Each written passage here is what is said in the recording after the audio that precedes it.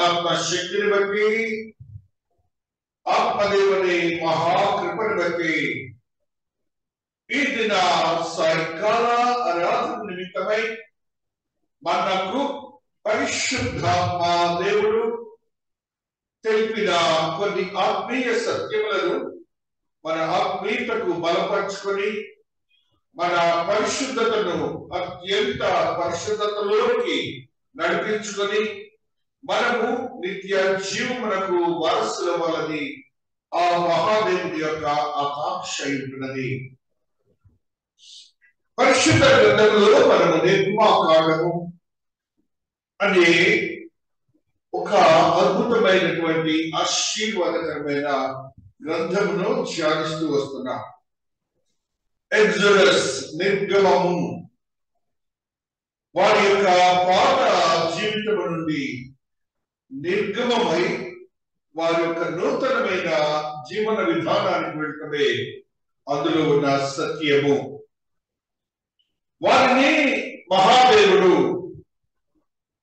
ఆశీర్వాదం కర్మగా మార్చాలని వారిని తన సొంత జనాంగంగా చేసుకోవాలని వారిని పరిశుద్ధులుగా భూమి మీద తీర్చిదిద్దాలని దేవాది దేవుని యొక్క అభిలాష అయి కారణం ఆయనే వారిని శాపగ్రస్తమైన జీవితంలోనికి ఐగుప్తులోనికి ప్రవేశపెట్టారు.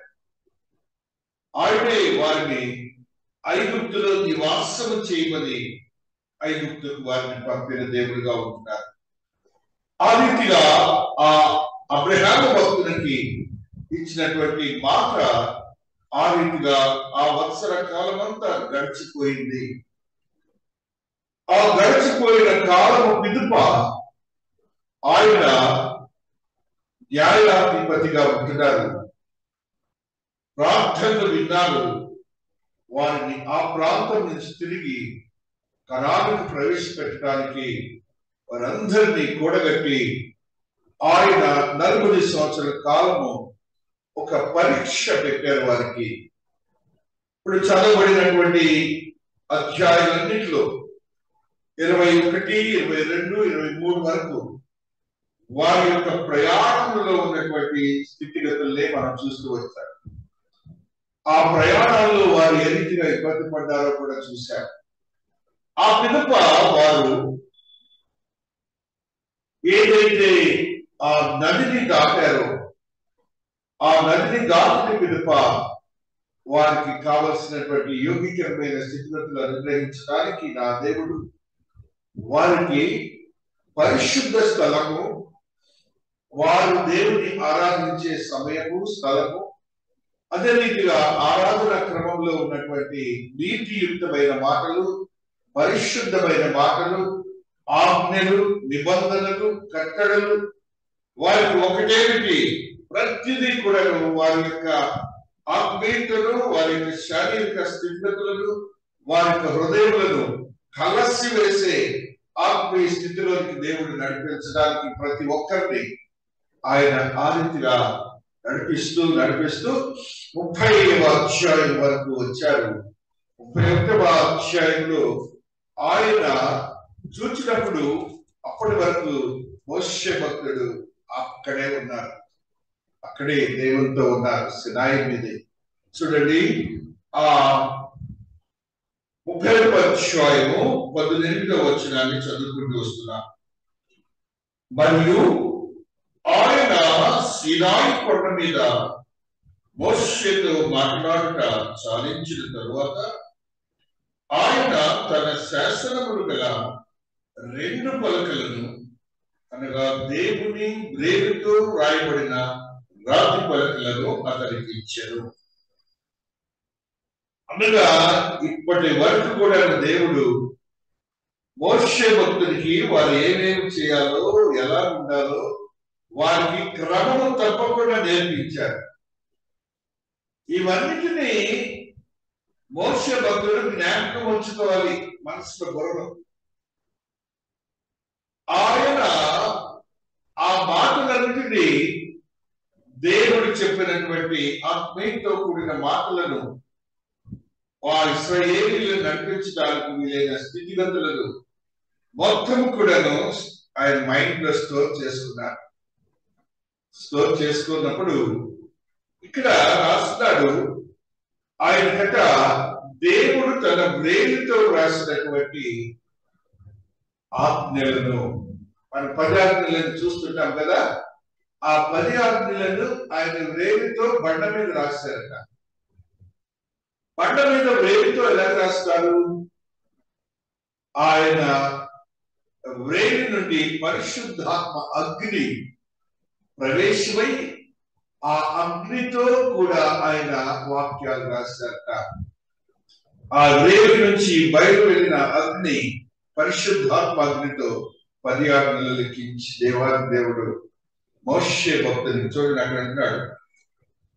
కొండ మీద మోషేతో మాట్లాడుట సాధించిన తరువాత మాట్లాడేది ఇప్పటి వరకు తర్వాత ఆయన తన శాసనములు గల రెండు పలుకులను అనగా దేవుని వేలితో రాయబడిన రాతి పలుకులను అతనికి ఇచ్చాడు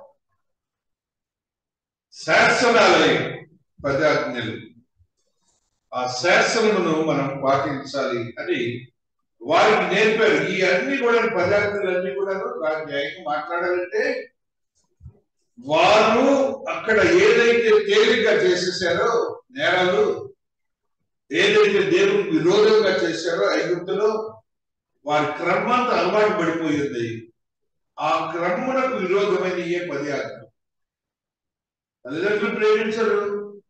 మనుషుల్ని నరహత్య చేస్తారు. మనుషుల్ని మనుషుల్ని ప్రేమించరు. ఐగుప్తులో ఉన్న లక్షణాలే పదార్థం.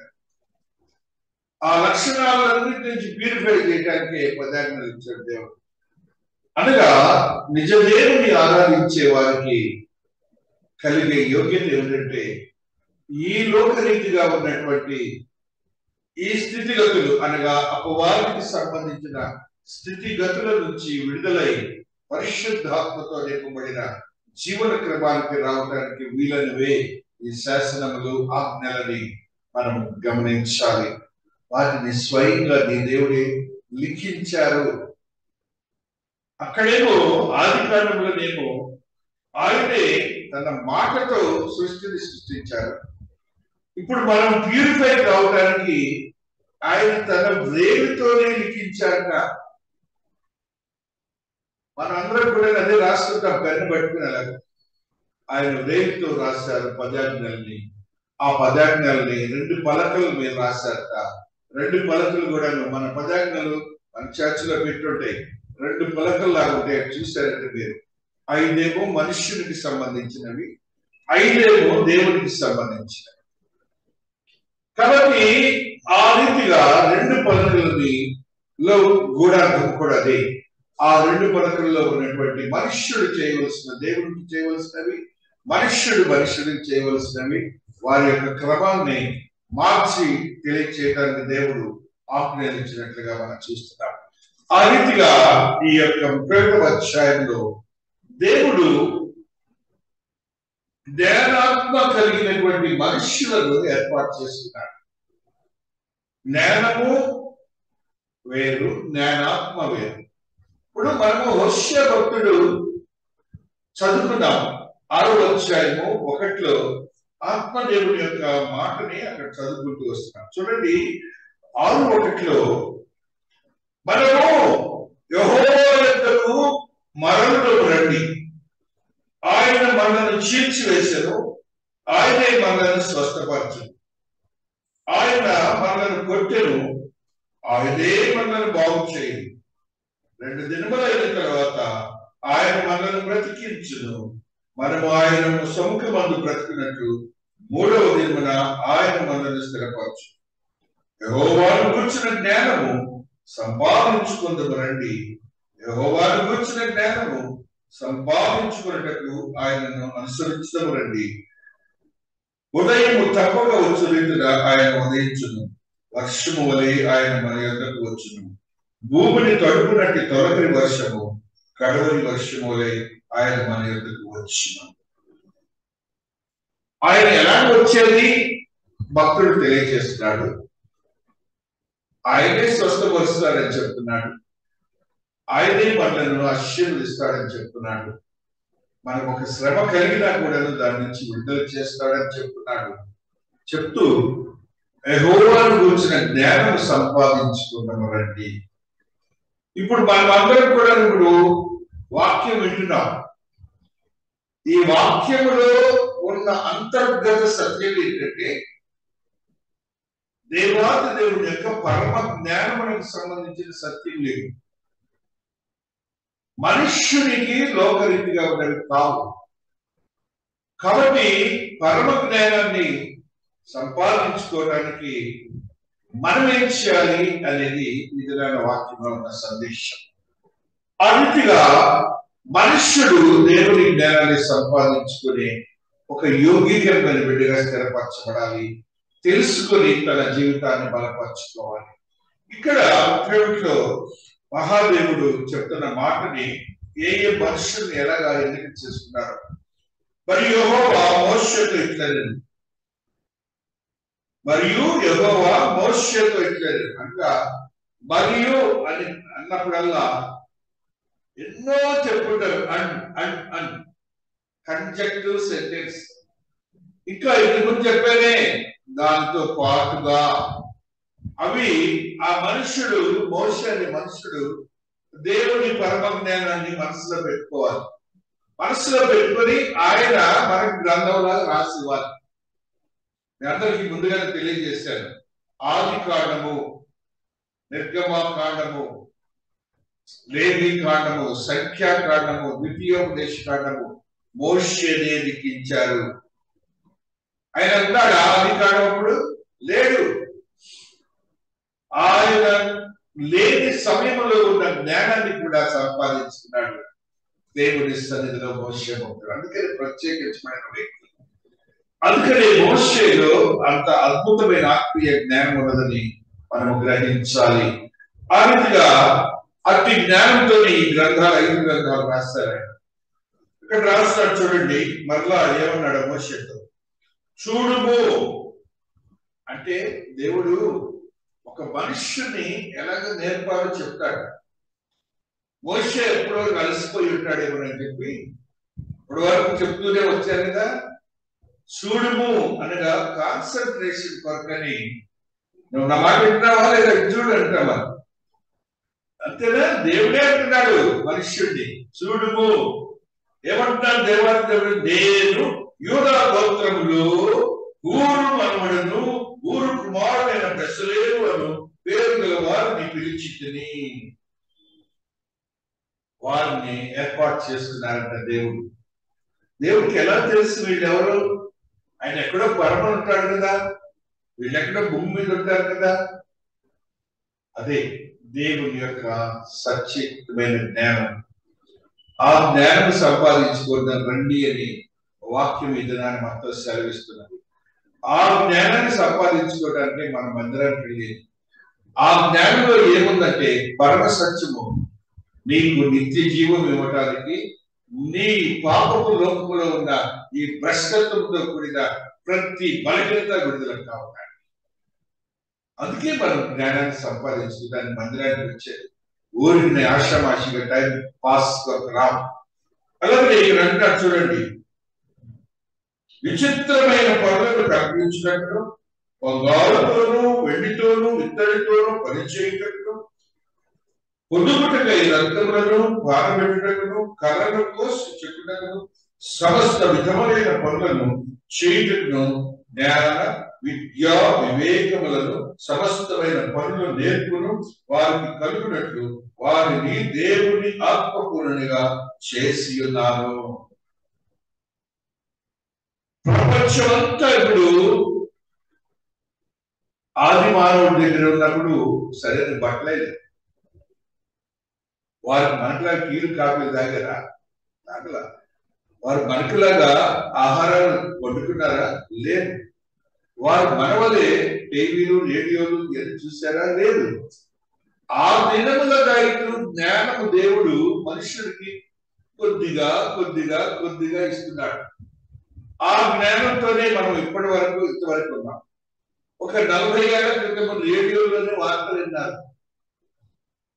ఇప్పుడు టీవీల్లో చూస్తున్నారు. అంతకంటే గొప్పది ఏంటంటే చేతుల్లో చూస్తున్నారు.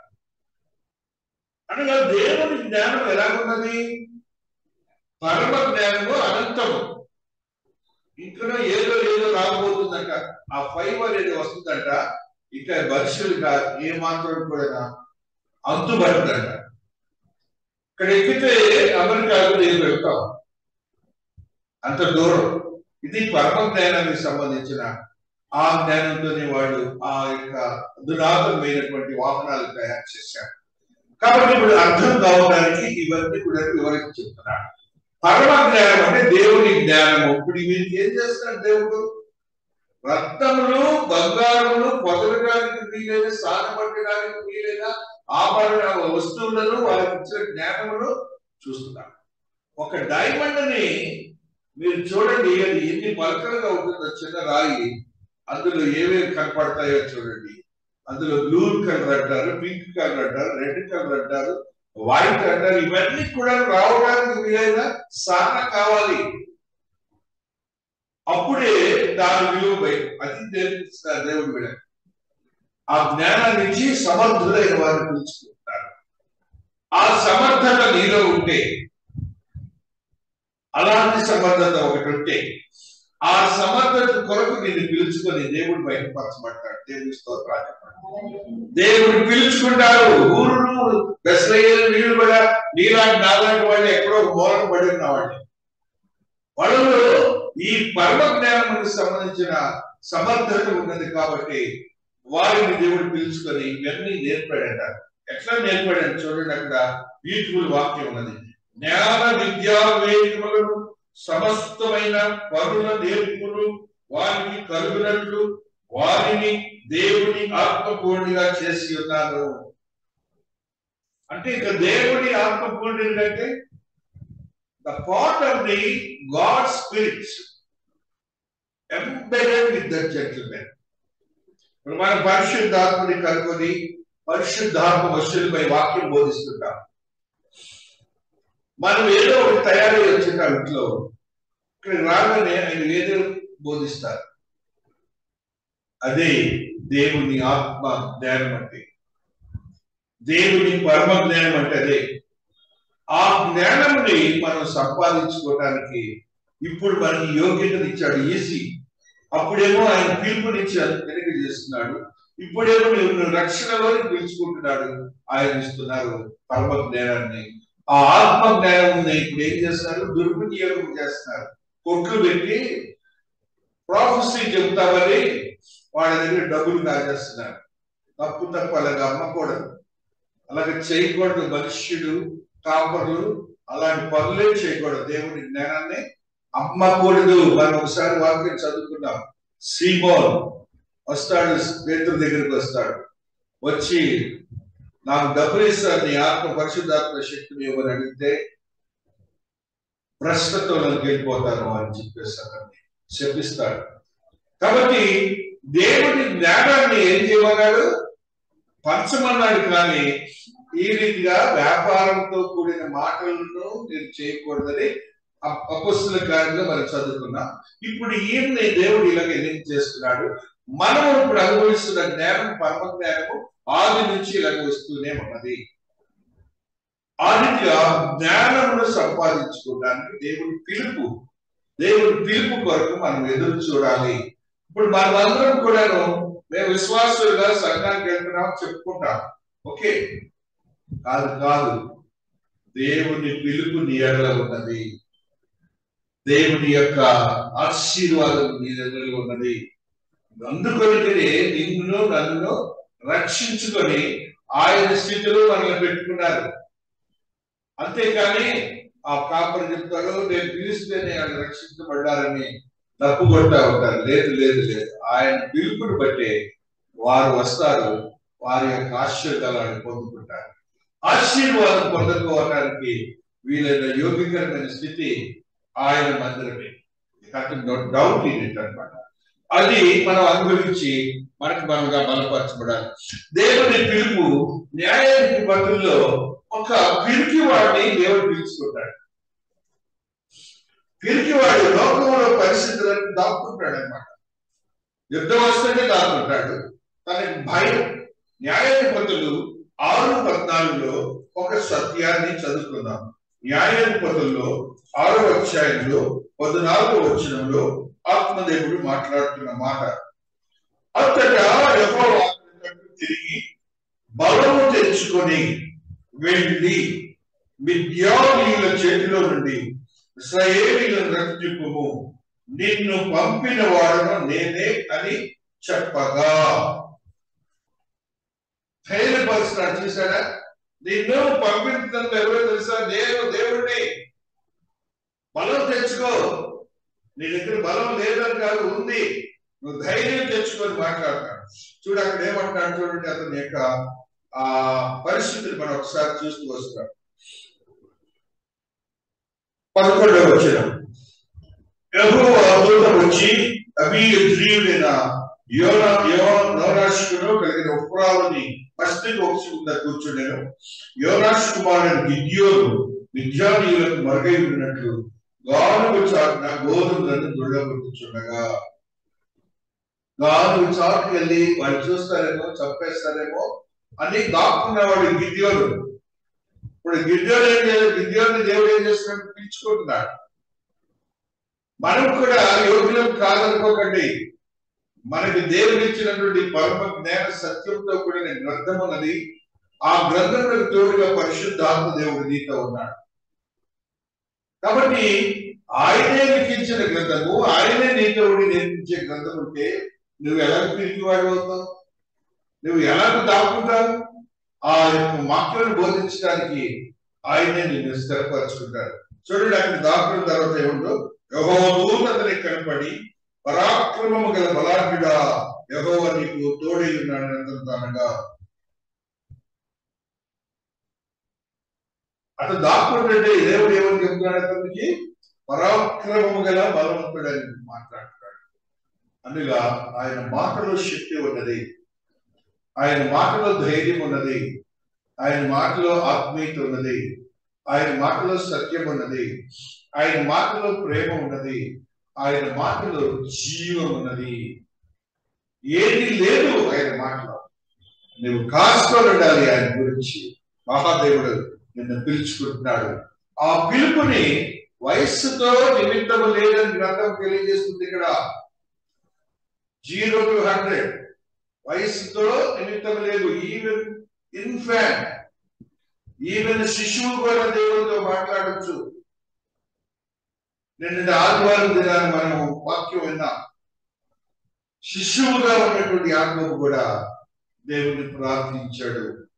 ఆయన ప్రార్థనకి సమయం కూడా ఎప్పుడు చేసినట్టు ఇవాళ అప్పుడే ఇచ్చేసాడు తన తన యొక్క సహోదరునికి ఆకలిని కలిగి చేశాడు మరణమనే భయాన్ని కలిగి చేశాడు ఆ సహోదరుడు బలవంతుడు అసలు. అతనికి ఆహారం లేకుండా చేశాడు. చిన్నవాడైనటువంటి ఆకోబు దగ్గర తను దాన్ని తీసుకున్నాడు. దేవుని క్రియలు అలా ఉంటాయి. నేను ఏమాత్రం వరి అవ్వదు దేవుని సన్నిధిలో మనకు కావలసిన యోచనతో కూడిన ఆశీర్వాదాలు పుంఖాలు పుంఖాలుగా ఉన్నాయి. అయితే మనం పొందలేక దాపుకుంటున్నాం గిద్యోలు దేవుడు పిలుస్తున్నా కూడా వింటలేదా దేవుడు పిలుస్తున్నాడు అయితే విన్నాడు. మనమైతే వినలేకపోతున్నాం. ఆయన పరిచర్యలో భాగస్థులు కాదు ఇప్పుడు మనందరికి ఏం పని పెట్టాడు దేవుడు? యుద్ధాలు చేయమన్నాడా? లేదు. మనం చేయమని యుద్ధం ఒకటే యుద్ధం. పరిచర్య అనే యుద్ధమే చేయమన్నాడు? ఆ యుద్ధంలో ఎవరిని గెలుచుకోమన్నాడు? అపవాదిని ఓడించమన్నాడు. ఆత్మీయతను గెలుచుకోమన్నాడు. అపవాదిని దూరపరచమన్నాడు అపవాదుని ఓడించమన్నాడు నీ వాక్యంతో.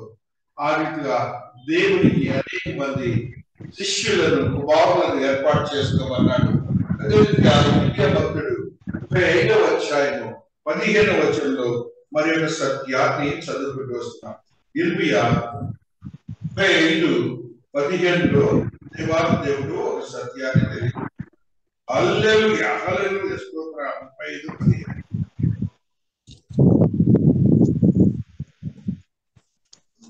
పదిహేను ముప్పై మరియు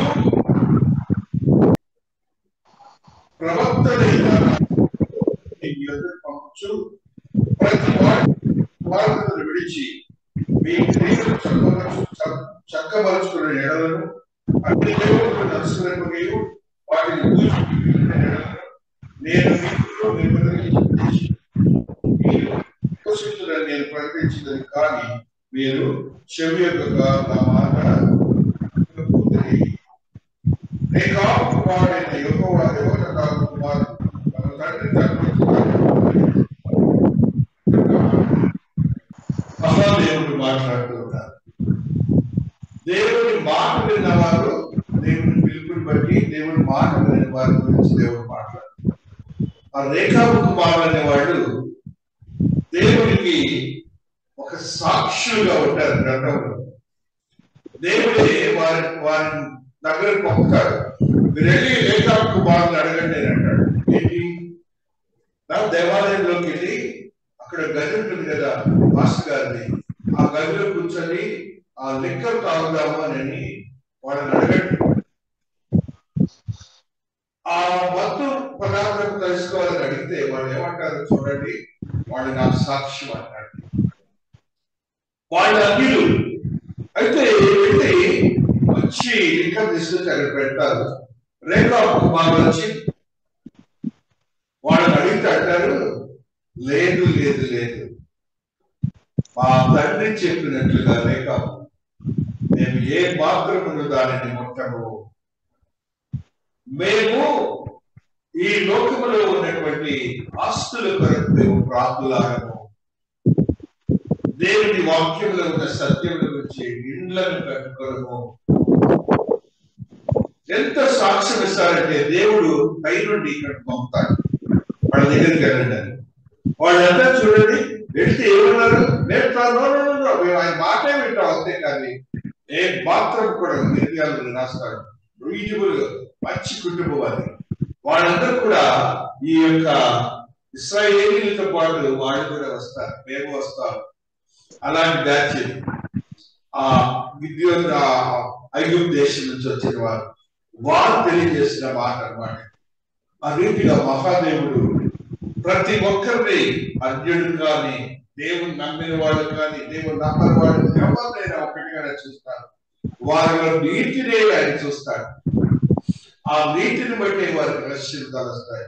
వారిలో కల్మషం ఉంటే కంటే పిల్లల వేడల పోరాటమే ఆ పోరాటమే అవసరం లేదు మనకి మహాదేవుడు తెలియజేస్తూ ఉన్నాడు.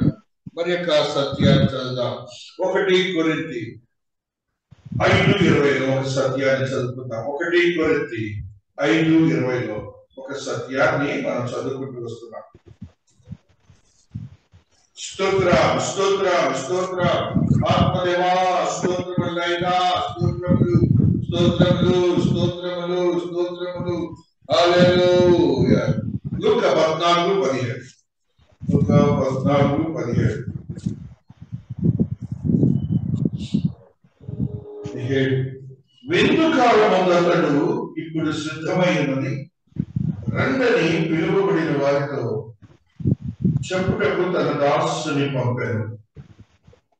అయితే వారు మనసుతో నెపములు చెప్పసాగని అందరూ ఎందుకు రమ్మని అంటే ఏమంటున్నారు? నెపాలు చెబుతున్నారు. మనం కూడా మరి- మరి కటింగ్ మాట్లాడిస్తూ ఉంటాం అప్పుడప్పుడు అదే దేవుడు రాస్తాడు బైబుల్.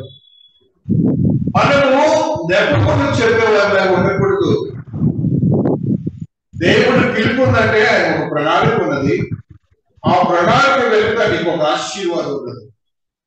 అది తెలుసుకోవాలి.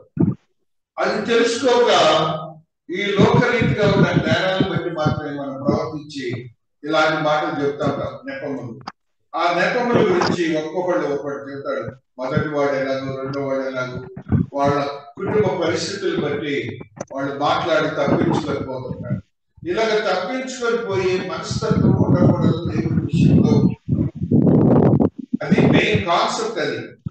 ఆ నలుగురి గురించి రాస్తారు? చదువు చక్కగా ఆ రీతిగా ఆత్మదేవుడు మనకు తెలియజేస్తున్నాడు.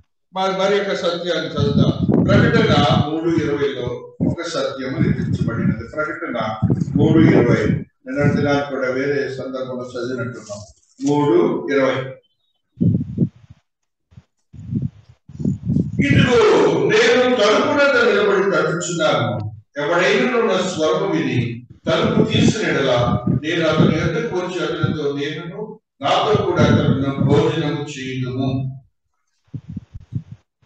ఇది మనకి తెలియని ఆత్మీయ సత్యం. ఇది మనకు తెలియని ఆత్మీయ సత్యం. అనగా నీవు గృహములో నివసించి నీ జీవితాన్ని నడుపుతూ గడుపుతూ ఉంటావు. నీవు నీ తలుపుకి నీవు ఏం చేస్తావు? సెక్యూరిటీ కొరకు తలుపు వేసేస్తుంటావు. రాత్రి జామున పడుకునేటప్పుడు. పగలు జామున ఒక్కరే కాబట్టి భయం వేసి ఆ తలుపు గడియ పెట్టుకుని పడుకుంటాం ఈయనేమంటున్నాడు నేను నీ ఇంటి వచ్చి తలుపు దగ్గర కూర్చొని ఉన్నానంటాడు తలుపు కొడుతున్నాను. అనగా నేను పిలుస్తున్నాను నిన్ను పిలుస్తున్నాను నువ్వు నా మాట విని నా మాట విని నా మాట సత్యంలోకి రమ్మని అర్థం. అనగా నీకు నీవుగా రెస్ట్లోకి వెళ్ళడానికి ప్రయత్నం చేయగలదు ఇప్పుడు ఎయిట్ థర్టీకే పడుకుంటారు. నాలుగున్నరకి లేస్తామని సిద్ధాంతాలు ఉన్నాయి కదా మనకి అది దాని గురించి చెప్తున్నాడు ఆయన. నేను పిలిచినప్పుడు ఎయిట్ థర్టీ లేదు నైన్ థర్టీ లేదు ఫోర్ థర్టీ లేదు. ఆయన పిలిచిన అసలు నిద్ర కూడా ఆ నిద్ర కూడా ఉంటే ఆయన ఏమంటాడు నీతో నేను భోజనం చేస్తాను. అదిగా ఈక్వల్ టు గాడ్. దేవునితో సమానమైన స్థితిలో పొందుకుంటావు అది ఆయనతో ఆయన నీకు ఇచ్చే యోగ్యకరమైన స్థితి దాని భక్తుడు తన శత్రువు యొక్క సత్తాను ఎవరైనా ఉంటారని అడుగుతాడు. ఆ, అసలు ఉన్నారు ఆ పర్వడే మనవడు పెంచుతుంది వాడి గురించి వాడు శత్రువుడు పర్వడు ఉన్నాడు ఒకడు అని అంటాడు ఈయన అంటాడు దావీదు "ఇది వెళ్ళి రాజ్యాన్ని తీసుకొని రండి అని అంటాడు. తీసుకొని వస్తారు. దావీదుతో పాటే రాజ్యానికి మర్యాదలు ఆ కుంటివాడైనటువంటి బిడ్డకి ఇస్తాడు. ఎవరు? సౌలుని మనవడు సౌలు అనేక సార్లు దావీదుని మరణాన్ని గురించడానికి ప్రయత్నం చేస్తాడు. కానీ దేవుని ప్రేమను చూపించి శత్రువు యొక్క వారసుడైన బిడ్డని ఎందుకు పనికిరాని వాడిని తీసుకొచ్చి సమానంగా ఆయనతో పాటుగా భోజనానికి ఆ స్థితి నీ దేవుడు నీకు ఇస్తానంటున్నాడు ఇప్పుడు. దావిని గ్రహించాడు ఆయన చేశాడు. ఇప్పుడు మనం అన్యులైన వారు మనకు చెప్తున్నాడు ఆయన. దావీదంటే యూదుడు. మనం అన్నిలు మనకు చెప్తున్నాడు దేవుడు. నువ్వు రెడీగా ఉన్నావా? నేను తలుపు దగ్గర నిల్చొని అని ఇప్పుడు మనం ఏం చేస్తాం? తలుపు ఒక ఇబ్బంది అర్థం బయట ఎవరు నుంచున్నారు ఇట్లా చూస్తాం అంత చూడని అవసరం లేదు నీ దేవుడు. నువ్వు నీ దేవుడు పిలిపే వేరుగా ఉంటుంది నీ దేవుడి స్వరమే వేరుగా ఉంటుంది నీ దేవుడి ఆత్మీయతే వేరుగా ఉంటుంది ఇందులో ప్రేమ ఉంటుంది. అందులో ప్రేమతో కూడిన ఆశీర్వాదం దాని ఆ స్థితిని నువ్వు ఎరగాలని ఇక్కడ చెప్తారు తలుపు తీసిరేలా స్వరము విని తలుపు తీసిన అంటే వెనకడు చూసి ఎవరో చూసి ఆ పనులు చేయకుండా ఎప్పుడే తలుపు తీయమని అర్థం. అనగా నెపములు వేయకుండా ఆయన స్వరాన్ని విని ఆయనతో నడుచుకుంటూ వెళ్ళడమే. అది. ఆ రీతిగా నేను జయించిన తండ్రితో కూడా ఆయన సింహాసనం కూర్చుండి ఉన్న ప్రకారం జయించు వారిని నాతో కూడా నా సింహాన్ని కూర్చోని పెట్టిందను అక్కడేమో భోజనాన్ని కూర్చోబెట్టుకుంటున్నాడు. ఇక్కడేమి రాజరికాన్ని ఇస్తున్నాడు. వాళ్ళ నాన్నగారి సింహాసనం మీద కూర్చోబెట్టుకుంటాడు and power to the god will become the god's spirit అనగా ఆయన మాటని కనెక్షన్ బట్టి మనం తిరుగుతున్నాం. అందరికీ అది యోగ్యతనిచ్చాడు దేవుడు. దానిలోకి మనం ప్రవేశించడానికి ప్రయత్నం చేద్దాం. ఇప్పుడు దేవుడు ఊరిని ఇలాగ వెసిలియల్ని ఎలాగ పిలుచుకొని ఆయన మహిమాకృతమైన దేవాలయాన్ని కట్టిస్తాడే. ఆ రీతిగా మనల్ని ప్రత్యేకించబడిన జనాంగంగా దేవుడు వాడుకుంటాడు. అదే ఆయనలో ఉన్నటువంటి గొప్ప ఆశీర్వాదకరమైన మనస్సు. అదిగా మహాదేవుడు మనతో ఈ దినాన్ని మాట్లాడుతూ వస్తున్నాడు. మనం విశ్వాసులైన మనం ఈ లోకంలో కొన్ని సత్యాలు తెలుసుకొని జీవిస్తూ పరమ దేవుని యొక్క సన్నిధి వెళ్ళడానికి కావాల్సిన యోగ్యతను సంపాదించున్నాం యోగ గ్రంథము పంతొమ్మిదవ అధ్యాయము లో కొన్ని ముఖ్యమైనటువంటి విషయాలు ఆత్మదేవుడు మనకి దినాన్ని తెలియజేస్తున్నాడు. యోగు పంతొమ్మిది ఇరవై ఐదులో ఆత్మదేవుడు తెలియజేసిన మాటని ఈ రీతిగా చదువుకుంటూ వస్తున్నారు అయితే నా విమోచన సజీవుడనియు తరువాత ఆయన భూమి మీద నిలుచుననియు నేను ఎరుగుతున్నాను. మనము తెలుసుకోవలసిన కొన్ని సత్యాలు. నీవు కూడా ఇప్పుడు యోగ చెప్తున్నాడే ఆ మాట నువ్వు కూడా ఎరుగుతును అనే మాట నువ్వు తెలుసుకోవాలి. నువ్వు తెలుసుకోవలసినవి నువ్వు ఎరగవలసినవి అవి దేవుడి జ్ఞాపకం చెప్తున్నాడు ఎందుకు? ఆయన పిలుపుని మనం లెక్క చేయకుండా ఇక్కడ ఏమంటాడు చూడండి. నా విమోచకుడు సజీవుడనియు తరువాత ఆయన భూమి మీద నిల్చుననియు నేను ఎరుగుదును.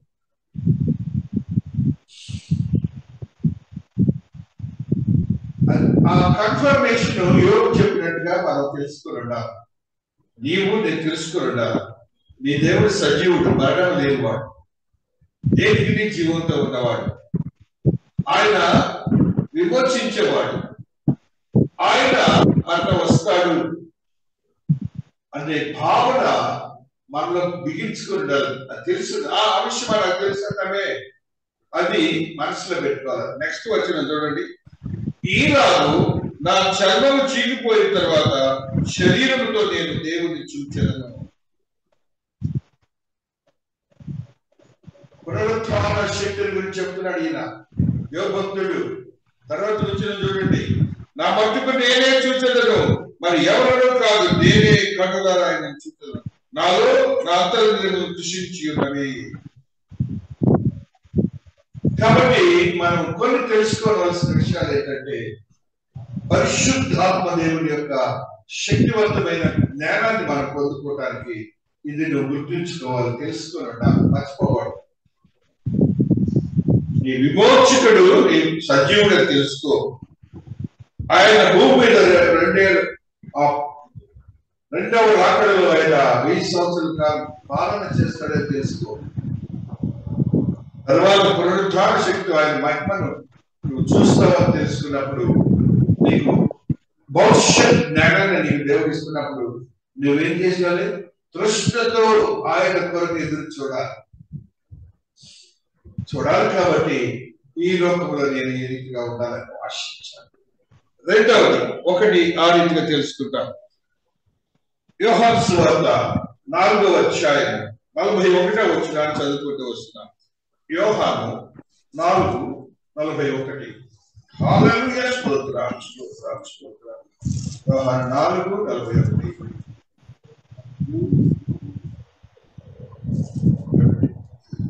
ఆయన మాటలు వినినందున ఇంకను అనేకులు నమ్మి ఆ స్త్రీను చూచి ఇక మీద నువ్వు చెప్పిన మాటను బట్టి కాక.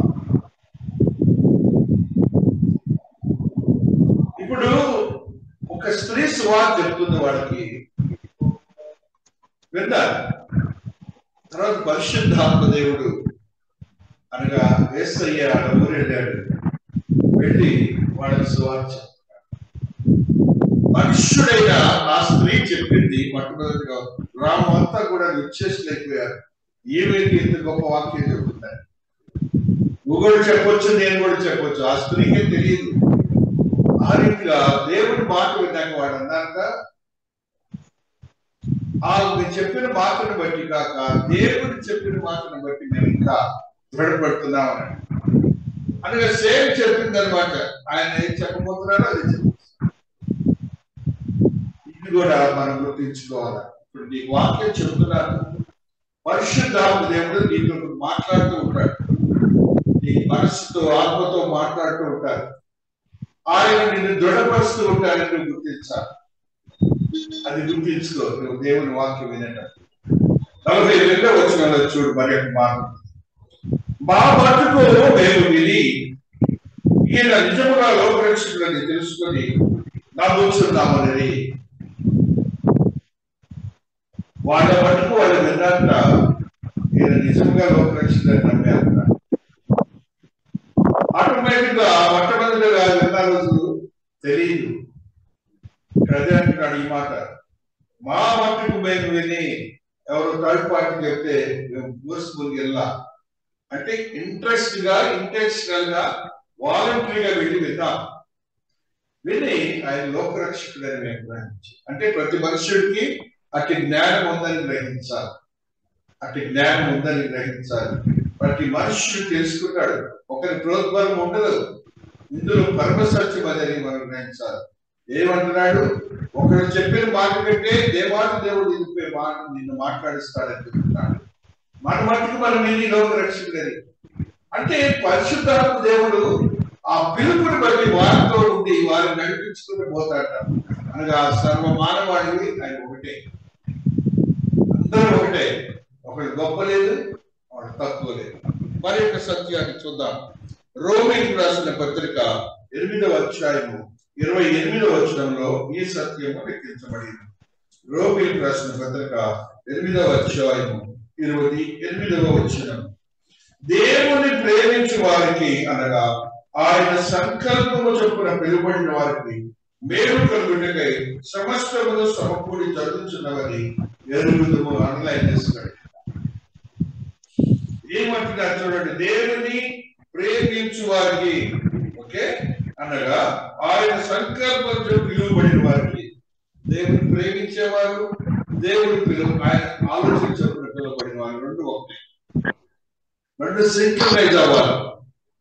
పిలువబడిన వారికి ఏమవుతుందిగా మేలు కలుగుటకై సమస్తమును సమకూడి జరుగుతున్నవని ఈ భూలోకంలో జీవిస్తున్నప్పుడు ఇది కూడా మనం తెలుసుకొని ఉండాలి. ఎరుగుదుము పిలుపుకి పిలుపు యొక్క వెనుక దేవుని కృపా ప్రేమ ఏంటో చెప్తున్నాడు. మేలు కలుగుటికై సమకూర్చబడినవని మేము ఎరుగుతాము అనే దృఢ విశ్వాసంతో మనం ఉండాలి. ఏదో ఆరు చెప్పారు వీళ్ళు చెప్పారు. నేను వెళ్తున్నాను ఇవన్నీ పక్కన పెట్టండి నీవు నీ దేవుడే ఇంత బస్. కట్టుకంటే ఎక్కువ తక్కువ లేదు. మరి యొక్క గారిని చదువుకుంటూ వస్తాం. రెండు కొరింతి ఐదు ఒకటి. రెండు కొరింతి ఐదు ఒకటిలో ఒక సత్యాన్ని ఆత్మదేవుడు తెలియజేస్తాడు. రెండు కొరింతి ఐదు ఒకటి. భూమి మీద తన మన నివాసం స్థిరమైపోయినను చేతి పని కాక దేవుడి చేత కట్టబడినది సత్యమైనది నేను నివాసం పరలోకపోతే అనుకుంటుందని ఎదుగుతాము నువ్వు భూమి మీద ఉన్నంత కాలం ఇవన్నీ తెలుసుకుని ఉండాలి. పైన ఏముందట?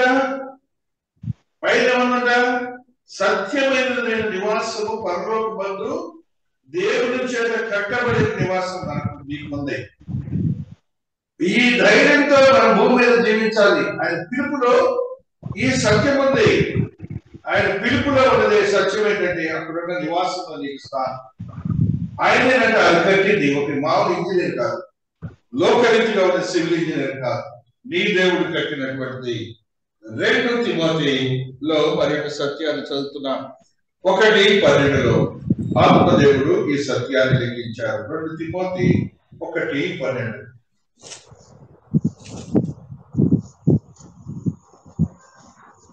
హేతువు చేత ఈ శ్రమలను అనుభవిస్తున్నాను కానీ నేను నమ్మిన వారిని ఎదుగుతున్న కనుక సిద్ధపడను నేను ఆయన అప్పగించిన దాన్ని రాబోతున్న దినం వరకు ఆయన కాపాడగలని రూఢిగా నమ్ముకొనుచున్నాను.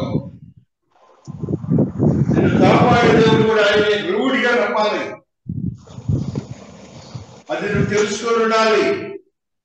ఆ పిలుపులో భావం అది. నేను రక్షింపడాలని చెప్పుకోవడం కంటే ఇవన్నీ కూడా ఈ ఏడు అంశాలు నీలో మిగించబడి ఉండాలి. రూఢిగా నమ్మాలి. నీకు మేలు కలుగుతుంది నీకు ఇబ్బంది కలగదు అనే భావన కలిగి ఉండాలి. నెక్స్ట్ మాట. ఒకటి వ్యవహారం మూడు రెండు మరొక సత్యాన్ని ఆత్మదేవుడు తెలియజేస్తాడు. ఒకటి వ్యవహారం మూడు రెండు. ఇప్పుడు మనకు దేవుని పిల్లలపై ఉన్నాము. మనకు ఏమవుతుందో అది ఇంకా ప్రత్యక్షపరచబడలేదు కానీ ఆయన ప్రత్యక్షమైనప్పుడు ఆయన ఉన్నట్లుగానే ఆయన చూద్దాం కనుక ఆయన కోరి ఉందమని ఎరుగుతుము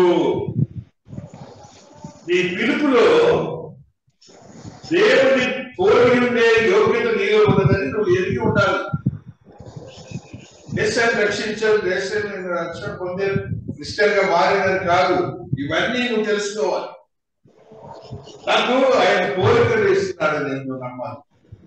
సేమ్ దేవుని కోరికలతోనే ఉంటాడు అదే అంటున్నాడు చూడండి ఇక్కడ. వీడు కోరి ఉండమని ఎరుగుదము ఆయనను కోరి ఉండమని ఎరుగుదము. మరి మాట పద్నాలుగు వచ్చిన తమ సహోదరులను ప్రేమించున్నాం కనుక మరణంలో జీవంలో దాటి ఉన్నామని రేపు ఏంటంట మరణము అనే నరకం అనే దాంట్లో దాటి నిత్య జీవులోకి వెళ్తా ఉండదు తెలుసుకోవడం పిలుపు ఈ పిలుపులో ఉన్న సత్యాలు మనం ఎరిగి దేవుడి ఆశీర్వాదాలు భూమి మీద వేస్తాడు. అంత మాత్రమే కాదు నీకున్నటువంటి యోగ్యకరమైన స్థితి.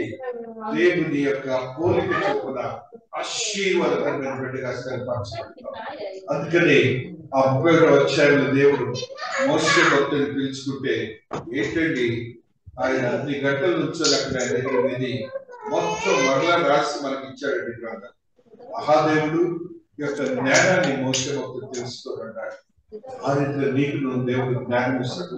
అల్పమైన వాడు కూడా అవ్వచ్చు. అల్పమైన దాన్ని కూడా అవ్వచ్చు. లోకంలో నిన్ను లెక్క చేయకపోవచ్చు నీ దేవుడు మాత్రం లెక్క చేస్తాడు. నీ దేవుడు నిన్ను మేళ్ళతో నింపుతాడు. దేవుడు ఈ పరిశుద్ధ వాక్యమును దీవించి ఆశీర్వదించును కాక ఆమేన్. కొనియాడ తరమే నిన్ను